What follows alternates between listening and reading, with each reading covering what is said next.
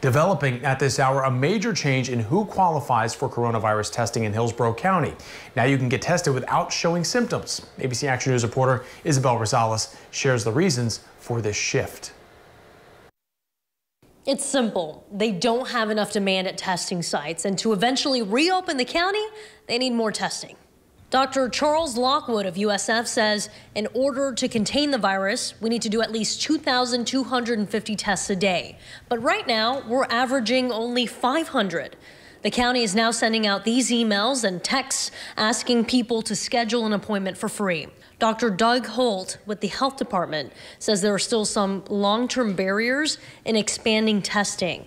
We need more PPE, swabs, staff, and money. Testing we have the capacity to do.